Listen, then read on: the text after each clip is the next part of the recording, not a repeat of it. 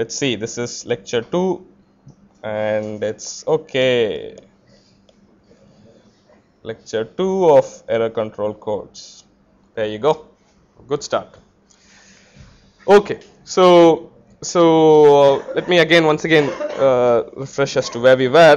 We were looking at a linear encoder and what did we say a linear encoder would do would take a message m and multiply with a matrix g on the right to get a code word c. Okay? Okay something very nasty has happened. And all kinds of things are changing but anyway it's okay. I think i should rotate it like this. No. Once more. Once more. Is that fine? Okay so what are these different quantities? This quantity m is a k bit vector right? And this is going to be a k by n matrix this is going to be a n bit vector okay so you actually want to send the message m and to give it some protection from errors etc you're going to add some redundancy of n minus k bits which is the parity bits and I enforce the constraint that each parity bit should be a linear combination binary XOR of some chosen subset of the message bits. So based on that we got this simple simple uh, situation okay. So this is the first uh, view of what actually happens in a linear encoder trying to generalize it a little bit. Can one of you go over there and tell those guys there's a class going on and move them a little bit outside. Thank you. so so this is this was the generator matrix view. Okay, so this is very important, and this will nicely generalize as I briefly mentioned to the basis for a subspace, which the code will actually be. Okay, once again remember the crucial definition was the code. What is the code? Code was the list of all code words, distinct from the encoder, which is a mapping from message to the code. Okay, so that was uh, that's one more fact which I mentioned last time. Okay, there's also what's called a parity check view. Okay, which is very interesting. Uh, parity check view. Okay, so again I'll introduce this with the example and then we'll once again look at it as a matrix and we'll see how that works out always. Okay, so in the example I had, what were my three encoding equations? I had P0 equals M0 plus M1, I had P1 equals M1 plus M2 and I had P2 equals M0 plus M2, right? These were my three equations. Okay, so I'm going to play around with these equations a little bit and interpret them as checks that every code word has to satisfy to belong to the code. Okay, so here what have I done? Given a message, I'm generating a code word from the code. Now I want to do something else which is closer to the receiving side. Suppose somebody gives me an arbitrary n bit vector. I want to be able to tell whether it's a code word or not. Okay, so what? So how do I go about doing it? For that, you can again manipulate with, with the same equations and get those checks. Okay, what do I do? I, I simply move all the things that are on the right hand side to the left hand side. I'll get constraints that bits in the code word have to satisfy, which are called parity checks. Okay, so let me move these things around. So I'm going to move M0 and M1 to the left hand side. So what what will what will it be? P0 plus M0 plus M1. Why? Because everything is modulo 2, right? So I don't have to worry about uh, anything else about any minus ones that might show up. Okay. So P0 plus M0 plus M1 equals 0. P1 plus M1 plus M2 equals 0. Bear with me if you've already seen what what the exact thing should be, but I want to write it down just to drive home the point that these two are completely equivalent. If you do any encoding according to the three equations that you see on your left, okay, and if you enforce the parity check constraints that you see on the right, you will get the same set of code words. okay, so do you understand what I mean? Okay, suppose I give you a 3 bit message and find the 6 bit code word according to the equations on the left that you see here. Okay, I'll get a list of code words. Suppose I go through the list of all 6 bit vectors and only pick those vectors which satisfy the three equations on the right, I will get another list of code words. These two lists will be exactly identical. Okay, this will follow very readily if you look at it very closely. You don't have to worry too much about it. Okay. Now these equations, see we wrote the equations on the left in the generator matrix form, right? We are going to write the equations on the right also in a matrix form and that will be called the parity check matrix. Okay. So how do I write that now? I want a matrix H. Okay. What's the parity check matrix now?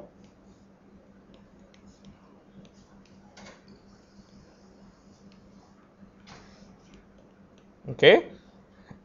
I'll call it H. It's always called H in most places. H.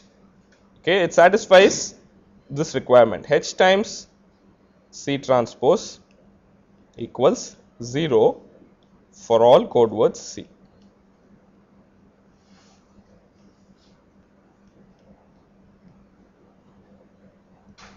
okay so that is the matrix so I want a matrix H and H times C transpose should satisfy that property. It should be should vanish, right? H times C transpose should be 0 for all code words C. Okay. So, so, so I have to say one more thing to actually fully define that. I should also say that H times C transpose should not be 0 if C is not a code word. Okay. I'm, I'm not explicitly written that down, but it's okay. I mean, it's clear enough from the way I've written it down. If it becomes 0, for instance, if I pick H, H to be the all 0 matrix, it's going to be 0 always. I mean, that's, that's no, no good to you as a parity check matrix. You want it to be 0 only if it is a code word. If it's not a code word, it should not be 0. okay, so it should clearly say that. That's built into it. I'm not writing it down explicitly. Okay, that's the first thing. The other thing is, what can you say? What, what more can you say about H now? H should have how many columns? Well I, I don't know anything about the rows. I have not said anything about the rows but only thing I can figure out just because I am able to multiply with C transpose on the right what should it mean? H should have definitely n columns. That's the only thing I can say. Can't say anything about the rows. We'll come to it soon enough okay? But it should have n columns okay? That's, that's pretty much the only thing you can say okay? So I want a matrix of this form okay? Hide this okay? So I have a matrix of this form Okay, so for this example that we had, let's try to cook up that matrix. It's very easy. In the example, okay,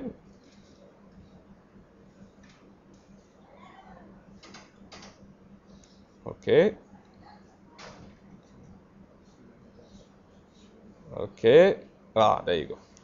All right. So in the example, it's very easy to cook up that matrix, right? So I want some matrix on the left which will multiply my code word. What was my code word? M0, M1, M2. Remember, I have to transpose it. P0, P1, P2. And I should get. Why did I put a bar below the 0? Okay, so I'm expecting this to be a vector, right? What will what will be the length of that vector? Number of rows of h. Okay, so it's very easy to see all those things. So I want, I'll put three zeros on the right because I know I'll get only three equations okay? So you can actually get more okay? But right now we'll work with these three equations okay? All right so what does the first equation tell me? P0 plus m0 plus m1 has to be 0 okay? So i can put ones here very easily. 1 1 0 1 0 0 is that fine? Okay? What about the second equation? It says M m1 plus m2 plus P1 equals 0. Okay, so go back and write that down 0, 1, 0. All right. Now, what does the third equation tell me? M0 plus M2 plus P2 equals 0 and I can write that down very easily as 1, 0, 1, 0, 0. Okay, so there you go. I formed a matrix H. Can I add one more row now if I want to? Suppose I want to add one more row. Can I add one more row? Yes or no? Let me see. How many of you say no? Uh, okay. How many of you say yes? Yeah, actually you can add. I mean, you can add so many more. Okay. They'll not be independent. That's another point. I don't care if it's independent or not. Okay. You can add one more row. What, what can I add? I can do? Yeah, all zero. okay. Don't, don't give me very trivial answers. I can even add non-trivial rows, right? What, what are the non-trivial rows I can add? Any linear combination of these three rows can be added and you'll still get another parity check matrix. Not it won't be the most reduced form, but you can take linear combinations, right? Because I know that set is satisfied, this check is satisfied, take any linear combination, again it's going to be satisfied, it's no problem, okay? So I could take a linear combination, but these, these three have a special property, okay? They are linearly independent and they fully define the checks, okay? That will come to soon enough, okay? But this is the parity check matrix for the code, for the example code, okay? Now, it is not clear if this is readily possible in the general case also. Okay, well, well it's it's quite clear that it's possible in the general case, right? If you have a if you have any generator matrix, right? What does the generator matrix tell you? It tells you how to write each parity check as a combination of several message bits. You can always move it to the other side and then convert it back into equations. For each parity you will get one equation. You should be able to do it. Okay, but it's nevertheless easy to have good if you have a general formula for how to go from G to H. Okay, so it's good to have that. Once you have that, you don't have to write all these equations out and move things from one side to the other. Maybe you lose something when you move, right? So let's not let's not do all that. So the general formula is also very very simple. Okay, if so in general if you have a generator matrix of the form I okay I'll put a k here to qualify the what what am I saying the size. Okay when I say I k it is a k by k identity matrix and then p. Okay what's the size of p? K by n minus k. Okay so that's clear. The parity check matrix you will see if you write down the equations and do the moving around will turn out to be p transpose i n minus k. It's clear it should be n minus k right? Why should you have n minus k you will have one equations per one equation per parity that you generate right? See each equation i got was for one parity. For every equation i can move things to the other side and then write one equation. Okay so for every parity you will get an equation. So you will in following that procedure you will get n minus k equations okay? That's the the important part. So you can always do this okay? So that's what uh, is important. All right so now we know for any linear encoder that one comes up with in the systematic form it's easy to go from generator matrix to parity check matrix. Okay? So all this is very i mean lingo very close to coding theory. People think of generator matrix parity check matrix the rows of the generator matrix have some significance which we'll see soon enough but that's how the lingo goes. Okay? Now what we'll do next is to interpret all this using the language of vector spaces. Okay? Which will give us a very nice generalization at the same time you will get a deeper understanding hopefully using your knowledge of vector spaces as to what these matrices are and how and what way should you think about them. Okay so that's what we'll do next. So that's the vector space view.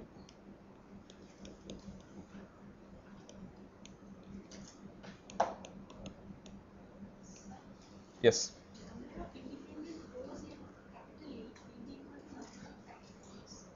Yeah.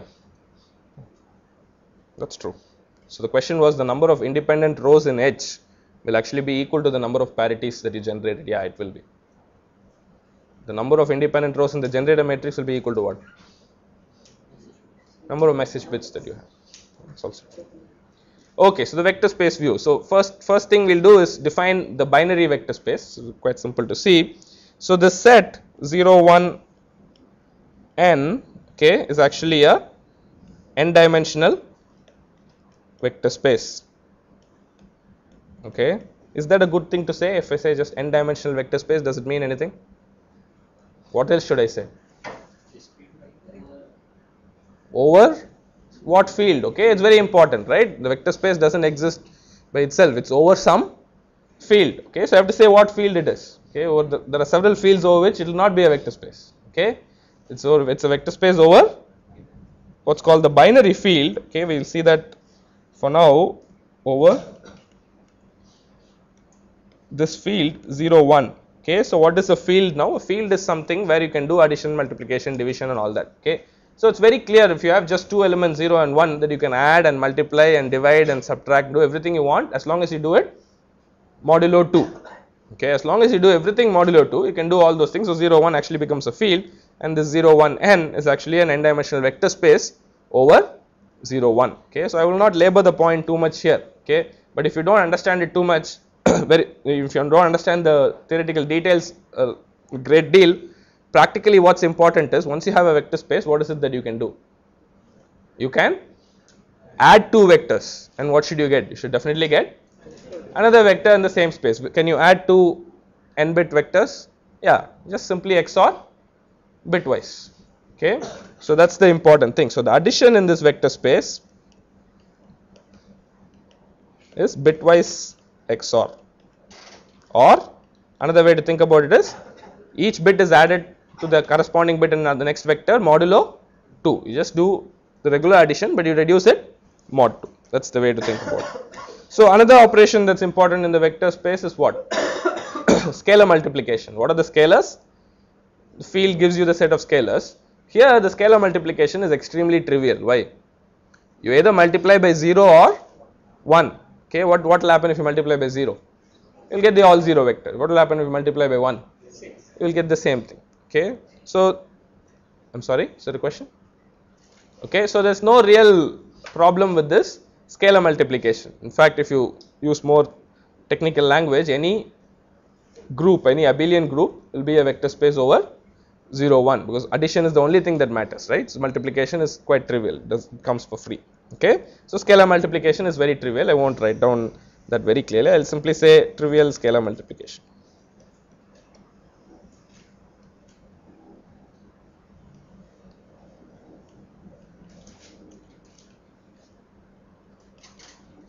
Okay. So, so what's the good basis for this vector space? Can take the canonical basis. How will you take canonical basis? 1 followed by all 0, 0, 1 followed by 0, 0, 0, 1 followed by 0. That's a good basis. Can there be any other basis? Yeah, you can have any number of, can you have any number of bases? It cannot be infinite, it will be finite, right? The vector space itself is finite. There are only 2 power n vectors. So, who can count the total number of different bases that you will get? Okay, can you count? Okay, if you cannot count, that's a good problem to work on. Okay, it's a nice counting. It's not very difficult to count, but still, if you have not thought about it, there's only a finite number of bases, and it's possible to count it also. Okay, so that's uh, that's that's some word about the basis. Okay, so we'll usually pick the canonical basis if we have uh, any confusion. Okay, so you can have a basis. Okay, that's the next thing I want to write down. So the basis we'll typically choose will be the canonical basis. There's no problem with that. Can choose that. Okay, what else is interesting in a vector space? What else would you like? Okay, you would like subspaces, right? Subspaces are definitely interesting. So yeah, this is a finite dimensional vector space. So obviously it has a subspace. How would you define subspaces? How would you go about generating subspaces for a vector space? The best way of doing it is to start with the basis for the subspaces. Provide any basis. Okay, if you want n dimension, you know the subspaces should have dimensions less than or equal to n. Okay, simply provide basis vectors. Okay, suppose suppose I give you m basis vectors. Okay, then you know all linear combinations of those m basis vectors would belong to the subspace generated by that. Okay, all this is very standard. I'm going through very fast, but I hope this is very this is a very basic review for you. I don't have to go through great detail. Okay, there's one thing you have to be careful about when you define subspaces. Can define subspaces in the most easiest ways to provide what's called a spanning set, right? Just provide a set of vectors and say the span of this set of vectors is my subspace. What is the basis for the subspace? It's an independent spanning set. So from the spanning set, you have to throw away the dependent vectors and get your basis. And the dimension of the subspace is the number of vectors you get that way in your basis. Okay, that's the way you think about subspaces. Okay, so subspaces are fine. You can define them using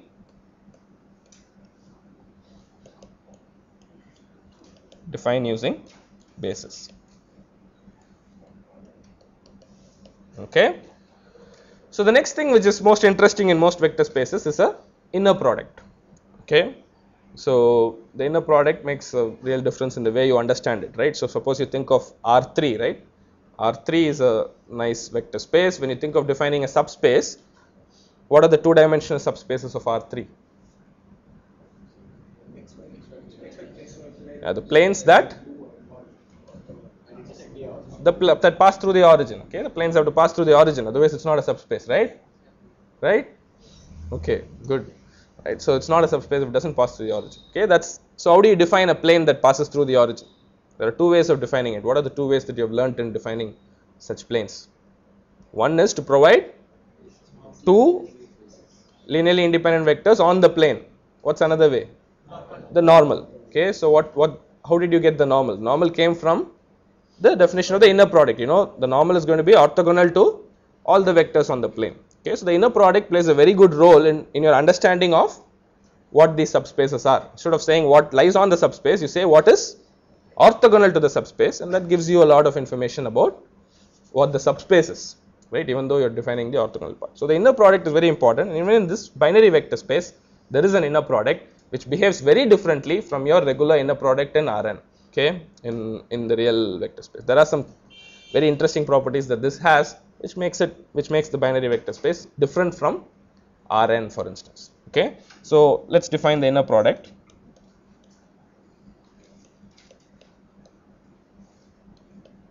Okay I'll take x dot y this will be my notation. Sometimes I'll use the sometimes I might use this notation also in case the dot is a little bit ambiguous. I might use this notation. Okay what is the definition here? X1 y1 plus x2 y2 plus so on till xn yn. But what? What is my plus? Modulo 2 okay why? The inner product is always defined to take you from two vectors to what? To the field of scalars. Okay you can't go anywhere you want right to the inner product. Okay so you have to reduce it modulo 2 and that modulo 2 makes all the difference you need new, between the rn and 0 1 n okay? It makes makes a big difference okay? This is the inner product. All right so the inner product seems simple enough so hopefully all the intuition you have about from the inner product in rn should help you a little bit. Many of the results are true but there's one result which is starkly different in the binary case okay? So i'll highlight what is different okay? This is this is the difference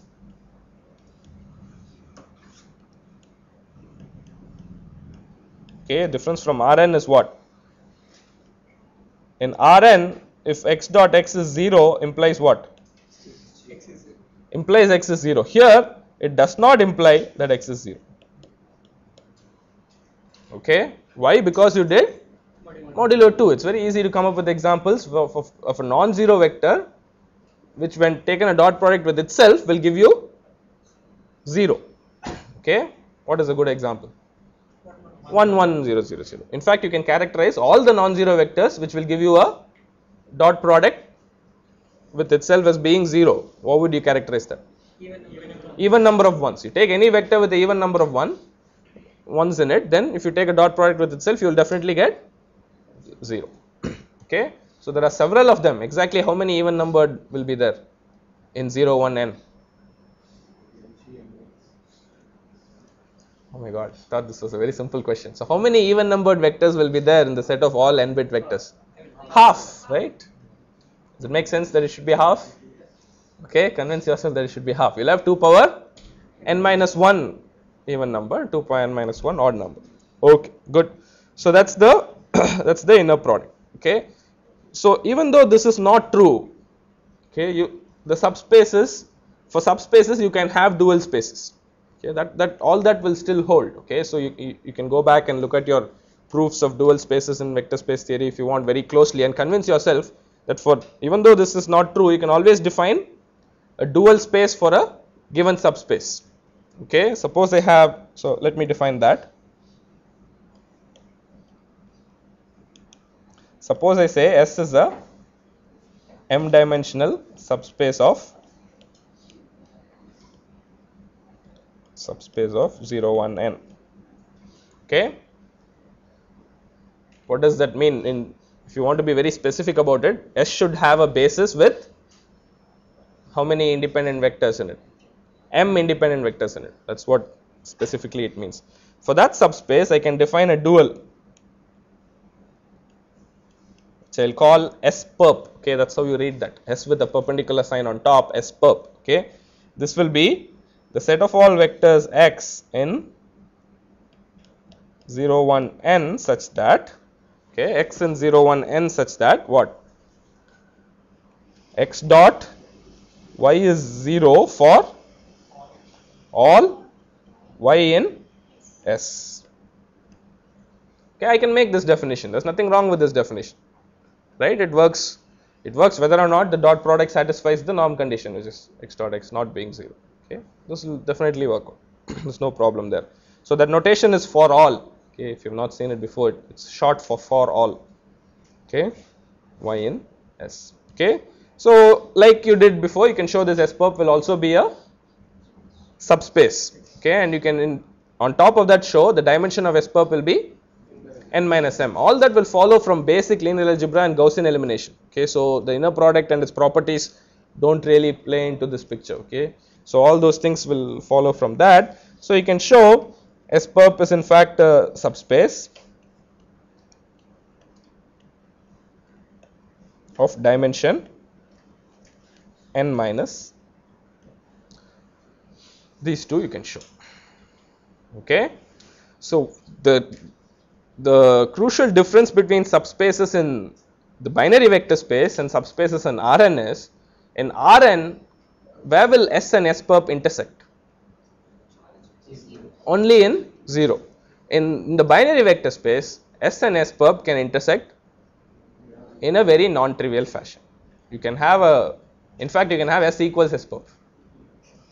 Okay, and that's a very active research area in coding. How to find subspaces S in binary vector space so that S equals S perp. Okay, they call self-dual codes. If you've heard about them before. Okay, so it's a it's an interesting thing to have. Okay, so that's a difference in binary. Okay, the crucial difference from Rn is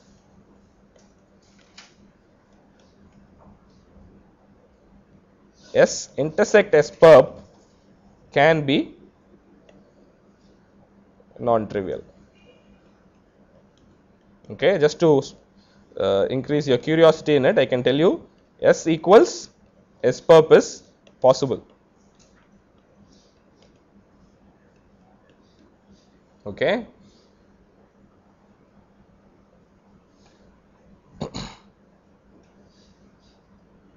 All right. So, any questions, basic questions? So, this was a quick review. I mainly pointed out the difference between what you can expect in binary and real num real vector spaces without going into any great detail of or proof or anything like that. Wherever I need, I will use additional facts. Okay, for instance, from if I have a m dimensional subspace S and if I give you m linearly independent vectors, okay, you can do Gaussian elimination and reduce them to what form? To a row reduced echelon form right? And you will get some kind of a canonical system right? You will have this non overlapping form with this i n p type structure okay? So that's how we went to the systematic form. All that they'll use will use whenever necessary okay? And i'll assume you're familiar with that okay? It's no point in proving those things in a class in coding theory okay any other question curious point about this intersection? We'll see an example soon enough. That point maybe this will be uh, clear. Okay? Let's see. Let's see an example. What n should I pick? What n do you like really? Which is your lucky number? Don't give me too large an n man. I'm going to say 5 5 is a good enough uh, number to pick. Okay okay so 5 is a little nasty as in you can't have this uh, self dual stuff. So let me pick a different number. So pick the closest number. 6 okay 6 you can have some nice nice uh, things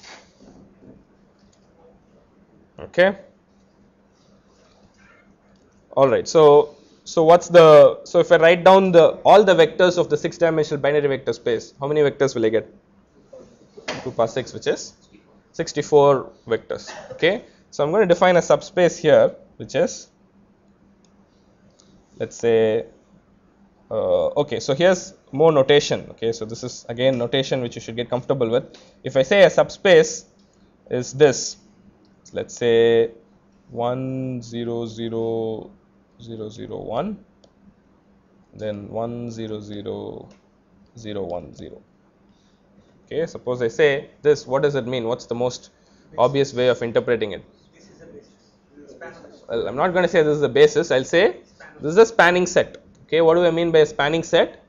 You have to take all linear combinations of these two vectors to get all the vectors from the subspace. Suppose I call this as u1 and suppose I call this as u2. Okay, how many vectors do I have? Two vectors in my spanning set. Okay, so how many linear combinations can I take? I can multiply u1 with some constant and then add it to right. So this s actually is what a times u1 plus b times u2 what are a and b yeah a and b are just 0 and 1 so you can't have so that will be a difference between these infinite vector spaces that you're used to and the finite vector space. Everything is finite okay? The total number of vectors itself is only finite. So you can't have this is infinite notions lines and planes going all over the place. It's just it's all finite okay? There's only a finite number of them okay?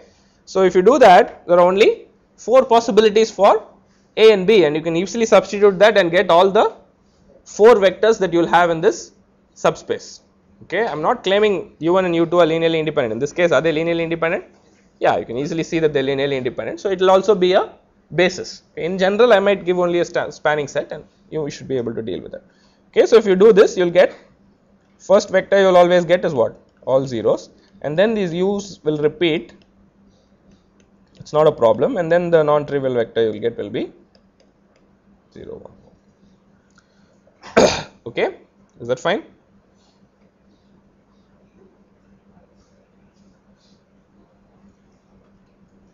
okay? Good.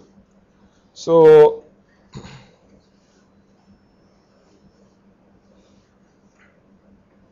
all right. So that's uh, that's how we define the subspace. Okay?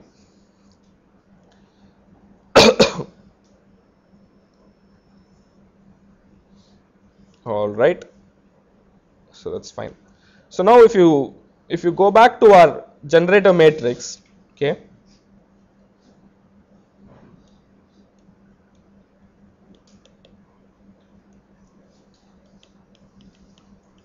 okay. If you go back to our generator matrix what did we have? We had the code okay the code the code word c being m times g okay? And m was what? All possible? K bit vectors messages k bit vectors all possible? K bit vectors is what we took okay so now you see the connection between the way subspaces are defined and way you, way you do this generator matrix. Okay. So if I have to write down the code itself, what is the code? Code is set of all right C equals mg and then you take m belonging to what 0 1 k okay that is your code okay set of all code words okay so now if I imagine G as having k rows and n columns and suppose let us say these k rows are linearly independent. Okay just just for now I will assume they are linearly independent. If they are not linearly independent what will you do? You can do elimination and throw away the linearly dependent ones and get only the linearly independent ones. So I will always say the, the rows in G are linearly independent in the systematic form that we picked IP, the rows are always linearly independent. Okay, so so so now we can always say they're linearly independent. I'll say I here, ik here, and then p here. Okay. So let's write down the this form in a different way. I'll say the first row is G1, second row is G2. Okay, and I'm simply writing it row by row. Okay, G2, so on till the kth row.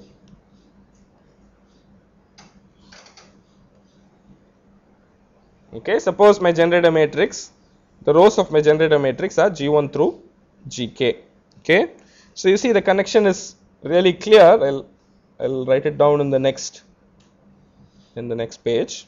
So you see any code word c is actually m0 times g1 plus m1 times g2 plus so on till mk minus 1 times gk right and these MIs are actually bits.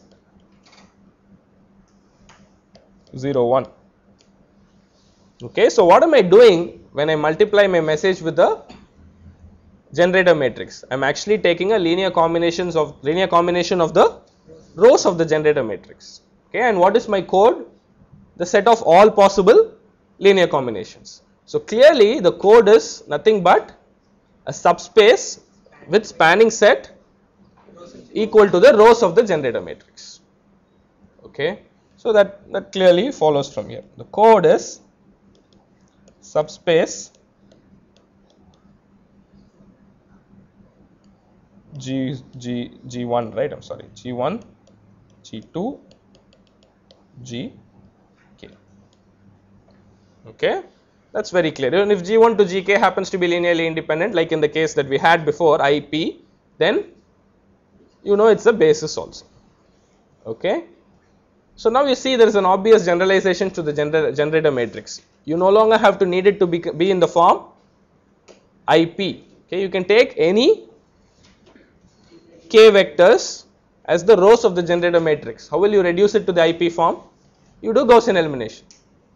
Okay, so this is actually the most general definition for a linear code.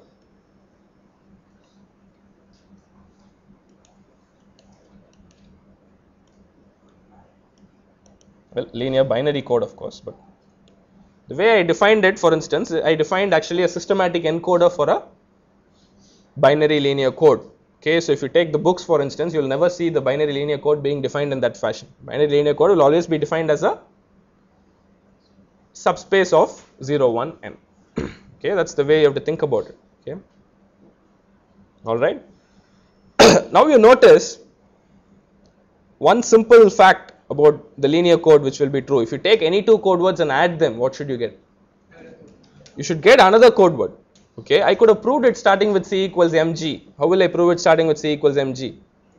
Okay, take m1g, m2g and then add what will, what will happen? You get m1 plus m2 into g. Okay, m1 plus m2 is another message. So obviously m1 plus m2 into g will also be another code word. All that you can do with that definition. But moment you say it's a subspace, you feel better, right? So you have a nice abstract understanding of it. You say it's a subspace. You add any two code words, you should get another code word. So all this seems, it just comes very naturally. Okay, so you see that's the general definition, and then uh, from here you again get that uh, sum of two code words is another code word.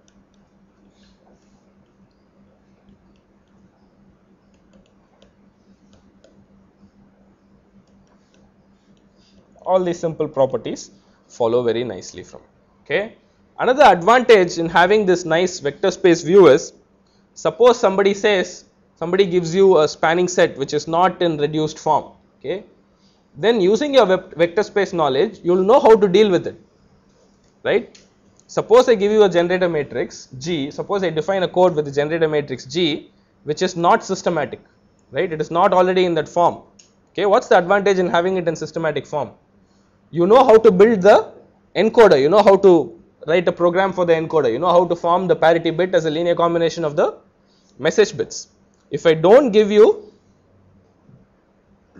in that form what happens? It's not in systematic form but you can still write a program for the finding the code word how will you do that? Take simply do m times g right? Simply do the linear combinations you will get that okay? There's not a lot of advantage to that. So there is there is some advantage to repeating the message by itself then only computing the parities as opposed to computing every bit of your code word okay? So if you want that advantage in your encoder you will have to do some some work. What is the work that you have to do? You have to do a gaussian elimination linearly do all the elimination reduce it to this form okay but what are you guaranteed when you do all that what does not change the set of code words or the code does not change why you know from your elimination theory that all your Gaussian elimination does not change the row space of the matrix. Okay. So that's the advantage in having this vector space view. The moment you have this vector space view, you're not afraid of playing around with the code words of the code. You know, you can take all these linear combinations and as long as you do it properly and as long as you don't introduce any dependence or anything, your code will not change. Everything is fine and you have that comfort, extra degree of comfort. Okay. Is that clear? Okay, so that's the advantage of going to this abstract view. At one point, it might seem like totally unnecessary, but in practice, it helps in being able to play around with these code words and uh, come up with some simplified uh, cases. Okay, so I'm going to stop here. In the next class, we'll take a general, take a few examples of generator matrices, play around with it, reduce to systematic form, and then we'll slowly move into the parity check matrix side. Okay. yes.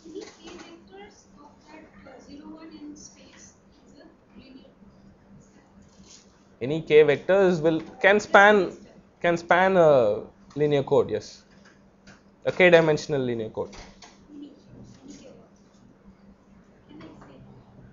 what do you mean by uh, span what do you mean by I don't understand. See, every set of k will not give you the same set of code words. You'll get the different code, but it is defined to be the code, no problem.